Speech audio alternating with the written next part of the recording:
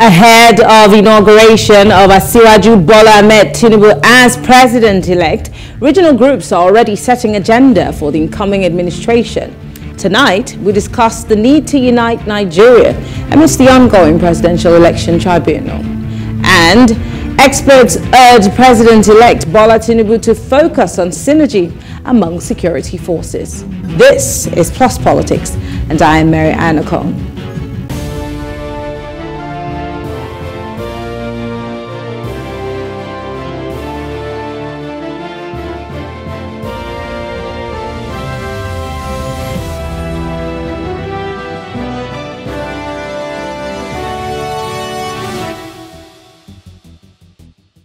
Ahead of the inauguration of Asiwaju Bola Tinubu as president of Nigeria, regional groups are setting agenda for the incoming administration. The outgoing President Muhammad Buhari today conferred national honors on the president-elect Bola Tinubu and Kashim Shettima, the vice president-elect.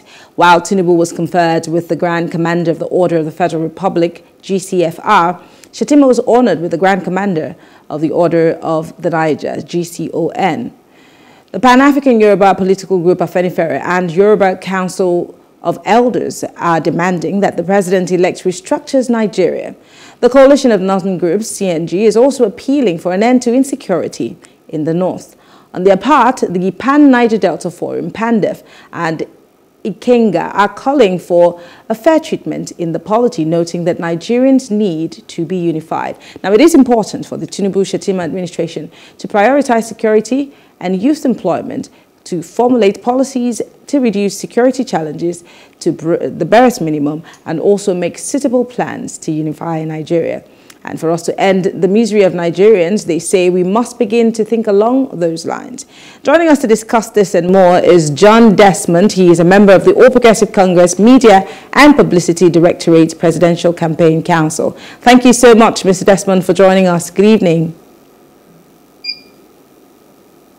Yes, thank you. Good evening. Great. Uh, let's start by looking at the journey that lies ahead for the president-elect. We know that come next week, um, Monday, May 29, the swearing-in will take place. And of course, uh, as much as there's going to be a lot of pomp and ceremony, um, uneasy lies the head that wears any crown, especially for one who's gunning to run this country.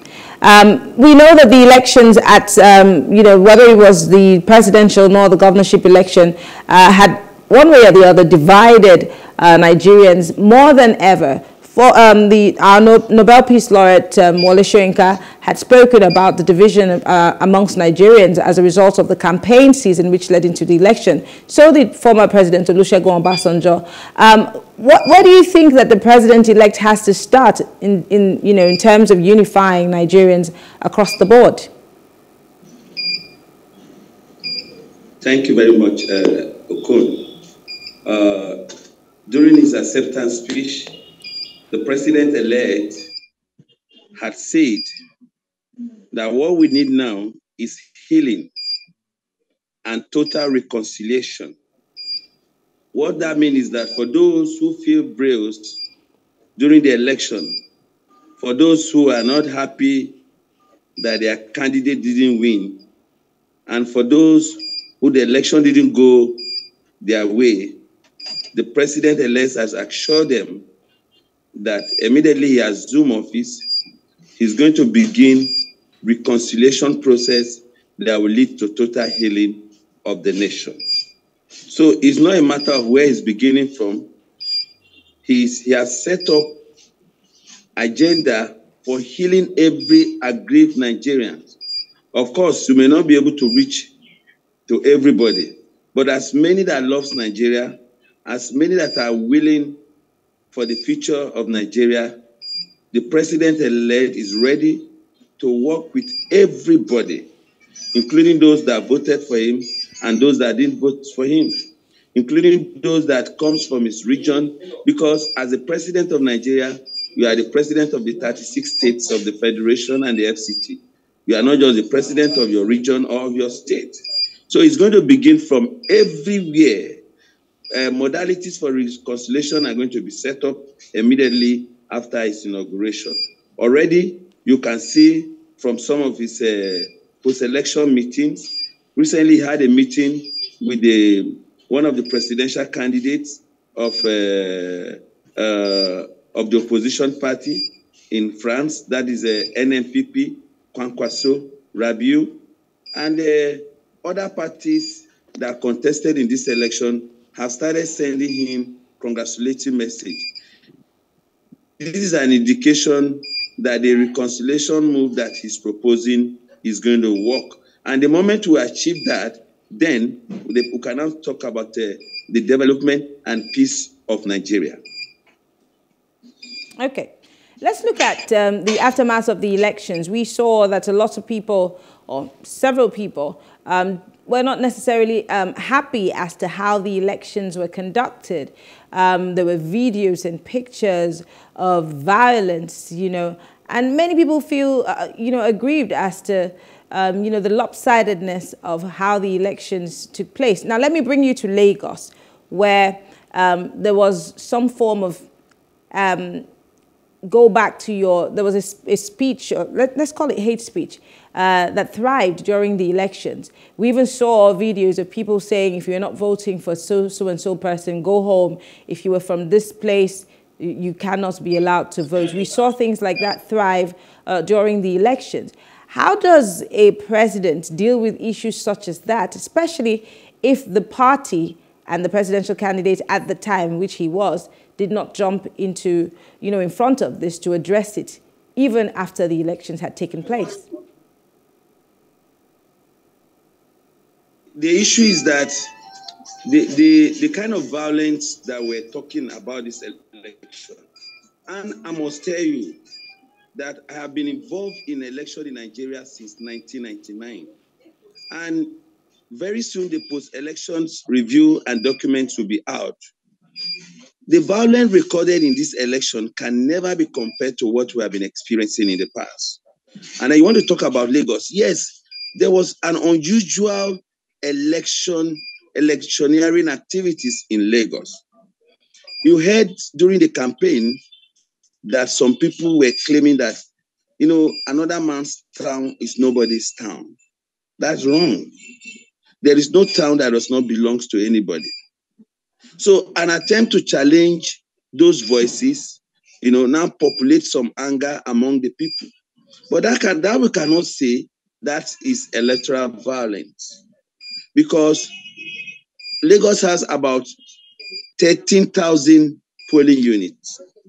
Out of this polling unit, it is it was officially recorded that only hundreds or less than a hundred uh, polling units that were affected by electoral violence. So that's not average of an election. And in, in every election, there are challenges.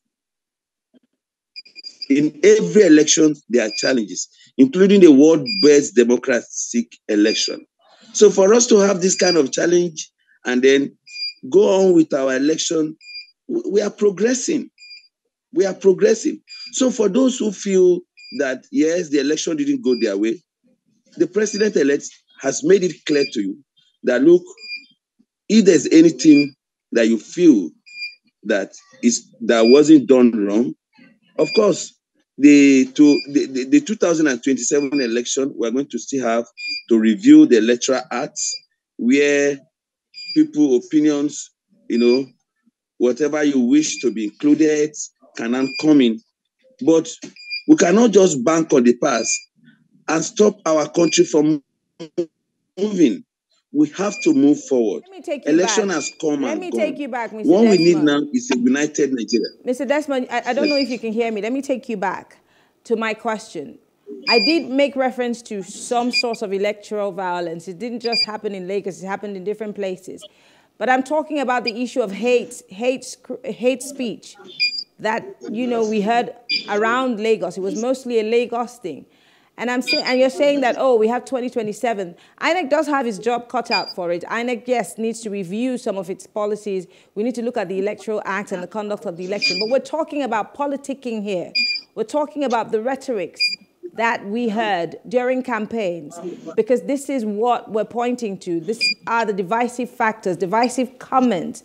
And, and, and I'm asking, again, Why didn't the president-elect, when he then he was a presidential candidate, why didn't he jump in front of this to address it?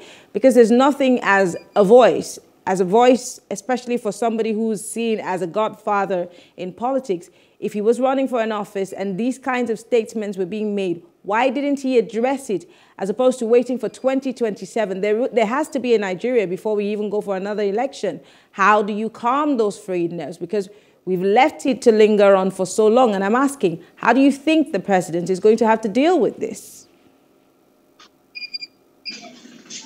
You see, if you have followed the, the presidential campaign of the president-elect, at various forums, he has advised his supporters not to insult, not to engage in hate speech, not to overheat the political system.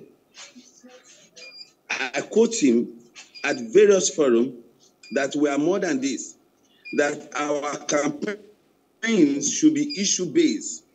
But you see, along the campaign lines, there are some there are some area that ethnic issues came up. For instance, one of the governor from the south went against his own party because he believed. Mr. Desmond, are you still come there? From the south. And the presidential candidate of his party came from the north. And they couldn't agree till after the election, up to this moment. And the man was very, very angry with the whole setup. Also, there are some issues that came up during the campaign, and I've said it before that yes, those people that were in, uh, engaging in those hate speeches are members, maybe of my own party, but they were not speaking for my party based on the issues they talk about. They were speaking for their ethnic concerns. For instance, people come up in a town and say, look, this town we have lived here more than 50 years, and because the town is more cosmopolitan, uh, cosmopolitan city, nobody owns the place. And then because these people are from this ethnic group, they now come out and say, look, this is our town. That doesn't mean they are speaking for the APC. That does not mean they are speaking for the president elect. No. Okay, but then let, let me remind you, uh, one of your presidential spokespersons, whether we like it or not, Bayo Onanuga, went on Twitter, I can never forget it, and spoke extensively using very hateful slurs on Twitter. I remember journalists of his likes from the international community um, speaking about what he said on Twitter. Uh, would you say that Bayo Onanuga was speaking for himself when he spoke about people who do not belong to Lagos coming to um, meddle in the affairs of Lagos or trying to tell them who to vote for. Uh, and some of the things I cannot remember exactly what he said. Was Bayo Onanuga speaking for himself? Being, being that he was also a representative and a spokesperson for the presidential campaign committee. Now, and we need to separate this and make it very clear. Bayo Onanuga is a Yoruba man. The town in contention is a Yoruba land. Okay? He was not speaking for the APC on that very issue. Really? Because in Lagos State, yes, in Lagos State, we have the APC, we have the PDP, maybe the Labour Party. In fact, during the election, the Labour Party won about two federal House of Representatives. So, and the people are still Yoruba. So are you now saying that he's rejecting the Yorubas that are in other political parties? No. I say there was an ethical issue. And as a Yoruba voice, as a Yoruba elder, he needs to raise the standard. And as an elder, did you he speak like what? The, the statements that were credited to Bayo Onanuga, did were they reflective of an elder, someone who was who's supposedly supposed to unite people as opposed to trying to cause more hate. As we all know, Nigerians are already divided along ethnic and religious lines. Was that a tense, I mean, it was a tense time during the, the, the campaigns. Was that the best time to make such statements as an elder, someone that you've categorized as an elder? Well, uh, and it may not be the best time exactly, but there are some issues that clarification needs to be made at any time. At any time. Interesting. Let's move away from that. Let's talk about um, the handshake across the table and across the different regions uh, of the country. Now we know that there are tensions, ethnic tensions in the southeast. We know that the president has to deal with other issues. I mean, as of yesterday, Plateau State had communal clashes that claimed almost 200 plus lives, um, and we're still counting. Um, we had some issues also earlier on, um, I think in um, Kaduna State. Um, and, and there's so many other issues aside from Boko Haram or um, ISWAP. The president has to deal with all of these issues. Was the president also tasked with constituting a, an executive council? Do you think the president will also reflect the sentiments of the people in the people he would pick to make up that cabinet?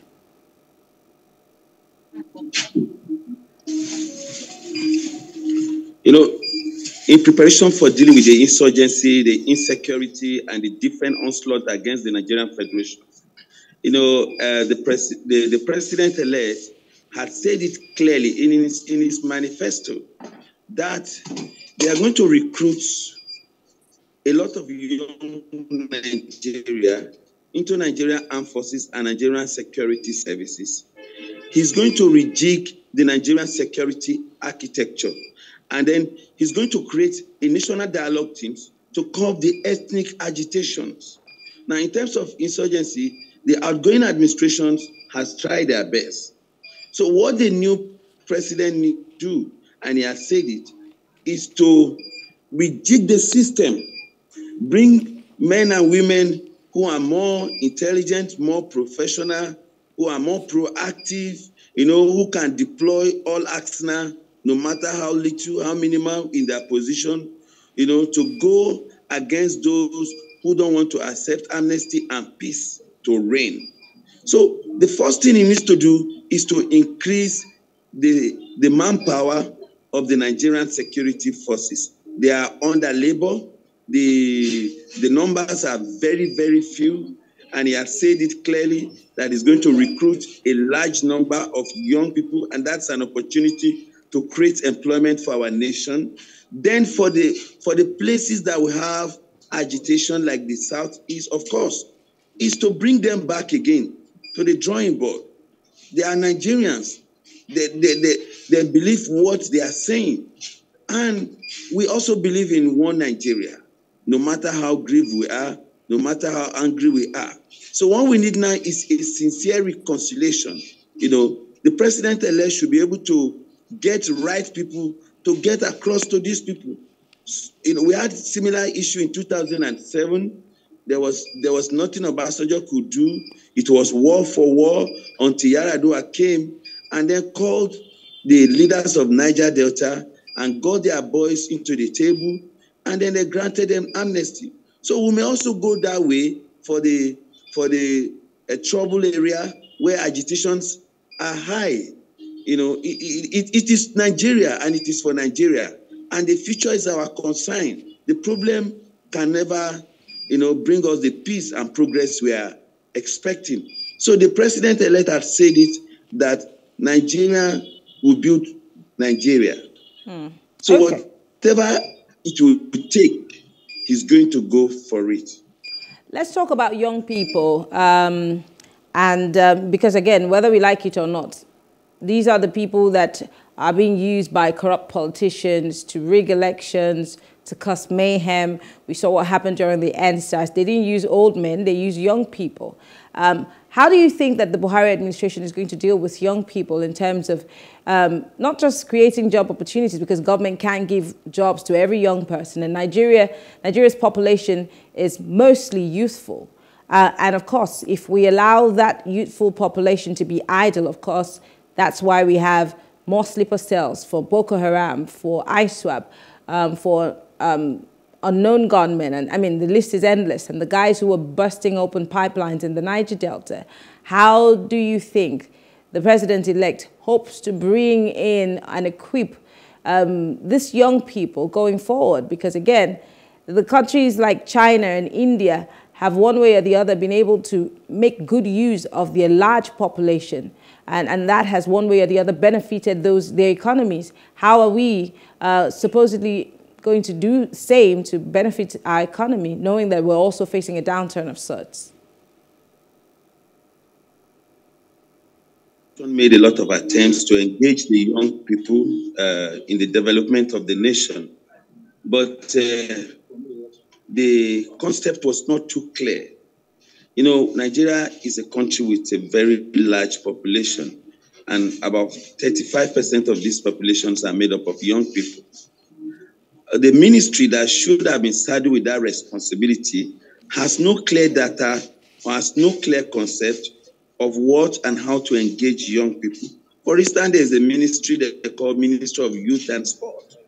Now, I, I, was waiting to see the scorecard of that ministry, and I have not seen it. Now, attempts were made by the Ministry of Information and uh, Digital Economic to bring to create a lot of uh, I, uh, a lot of hopes for young people to tap their their potentials, but uh, the success story was very low, and then the states couldn't do a lot of things, and then we had three years that uh, was just wasted around COVID and other things. But then, for the new incoming, uh, for the incoming administration, this is an opportunity for for them to harness the Nigerian resources through the younger generation. A clear-cut, a distinctive road, a roadmap needs to be created. How to engage these people? It is not only agriculture that that you can empower people. There are a lot of things. For instance, they are talking about the student loan. That has to be very, very clear as early as possible. Okay. So that everyone. Go ahead.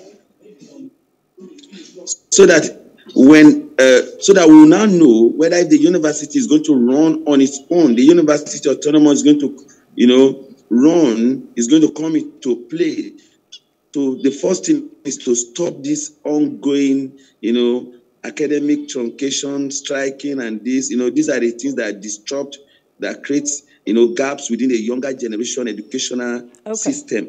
Now, if they can get that right, then from the NYSC, from the NYSC, they can look at it again. What do we do with these people? Should we just pull them and give them a three months training and pay them some money to go and engage what they have learned. You know, this is where you can get the prime okay. young people ready for proper engagement. It's All not right. just to say you create a program.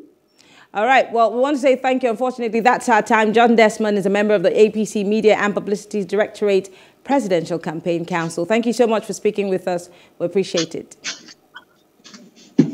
All right. Thank you, Anne. Thank you. Thank you. We'll take a short break now. When we return, we will continue our discussion from yesterday on Nigeria's security situation. Yes, we're talking national security and agenda setting for uh, the president-elect as he's preparing for handover. Stay with us.